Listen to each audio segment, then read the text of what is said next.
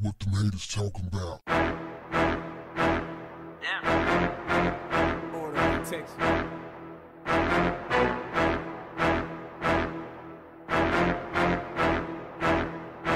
What's up, family? It looks like the outcry over Meek Mill's sentencing has attracted the attention of the FBI. The big bad FBI is on this now, y'all.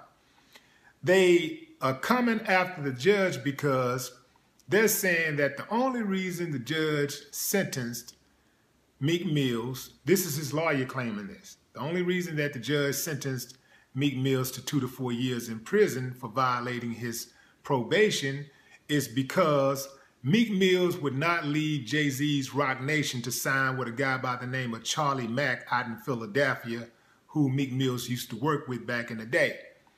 Also, the judge had requested that Meek Mills redo Boyz II Men song on Bended Knee and mention her by name, which Meek Mills apparently refused to do. Now, they also saying that a source close to this case is saying that the FBI has been monitoring Meek Mills's case since April of 2016. They've been in the courtroom, been at these hearings and stuff. So they've been watching this dude for a minute.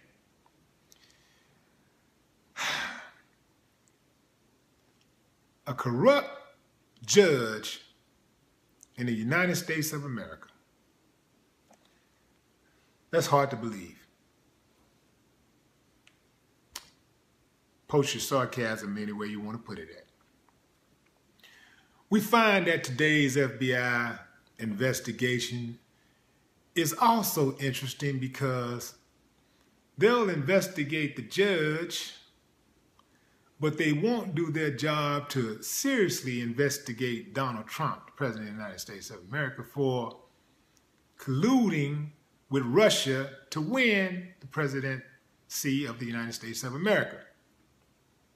Also, Let's get right down to this, man. Let's be real with this.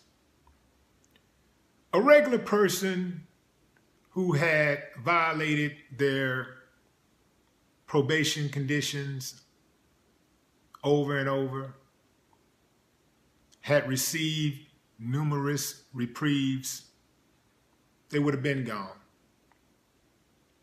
But because Meek Mills, who, he, who is who he is, he's been given breaks. The prosecutor and the Meek Mills's uh, probation officer both requested to the judge that he not do time. Neither of them wanted him to do time, but the judge decided, I'm going to give you two to four years anyway. This problem could have easily been solved if Meek would have just did what he was supposed to do. Man, when those people give you time, when they give you that probation, they give you the probation knowing that you're probably gonna mess up again. So it's like when you violate, you fall right into the trap that they wanted you to fall into in the first place. You're playing their game. Who the hell stays on probation for 10 years? A person who continues to commit criminal acts. Pissing illegal when you're on probation, the dirty P test, that's criminal. Not showing up to see your probation officer, that's criminal. Going out of state, or even in some cases the city, depending on your terms, outside of your city limits, is a crime. And of course, any type of fights you get into, if you were told not to be in uh, nightclubs or whatever, I'm sure he got a pass on that because he have to, it's work related. So he have to perform at nightclubs from time to time. So I'm sure you got a break on that. But man, you got to follow those conditions, man. You got to follow those conditions to the T. You can't even move out of your house when you're on probation without getting permission first from the courts.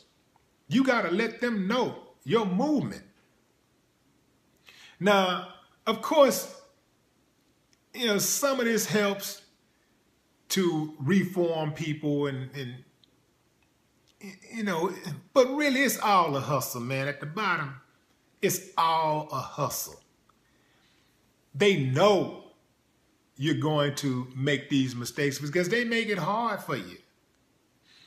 That's why they tell you also, hey man, uh, they'll give you the guidelines. They'll say, hey,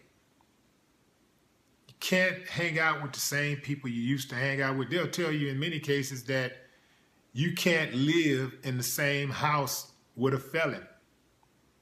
You can't hang out with felons. You're not even supposed to write to people that's incarcerated once you get out if you're on probation or parole. they they they and then and like what if you know you got a brother, you know, a family member, best friend or something that's locked up. You know, you're not supposed to write to them. You can't live. You can't even associate with them. Of course, that's very very hard to do, but they have the latitude to come in and snatch you up if they want to if they decided right now, everybody that's on probation, everybody that's on parole, we finna go and pay a visit to them. In most cases, they're not supposed to be around other people that have criminal records. They can, they'll probably lock up 90% of the people out there. But they know they don't really want to do that. But that's just one thing that they have hanging over your head. If they wanted to get you, they could get you. So the name of the game, man, is stay out of those people way. Especially if you're a black man. The trap is set. They want our bodies cold or warm. They want us, man. Meek got to be a lot smarter the next time around. I do believe he's coming home soon. I don't think he's going to do two to four years. I do believe that the judge is corrupt. There's too much evidence out there, too many people out there that's corroborating this story that, yeah, she is a dirty judge, which a lot of them are. I think you have to be dirty to some extent to work in America's judicial system because it's, it's fixed, it's corrupt, it's biased. So while the FBI is talking about their probing this case, they've opened up an investigation I don't trust them because the FBI and the judge play on the same team. How you think that's gonna work out? No more talk. What, what the haters talking about?